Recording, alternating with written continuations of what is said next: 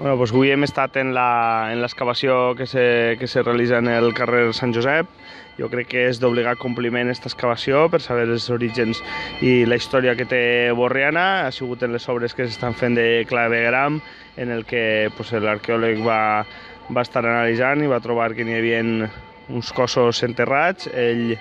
com, com bé ha dit, pues,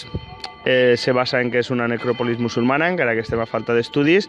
i el que anem a fer ara pues, és extraure els ossos i realment veure quin és l'origen i quin és el passat d'estos ossos per realment pues, conèixer més, més història del nostre poble. I això són els passos que anem a seguir i que ja van demanar a Conselleria en el seu, en el seu moment i ara mateixa pues, el que se farà serà, avui mateixa se farà l'extracció d'ossos perquè posteriorment se pugui estudiar i així allà també eh, la gent de la construcció pues, pugui acabar aquests dos carrers que també, que també els veïns ja mos ho demanaven a falta d'aquest permís.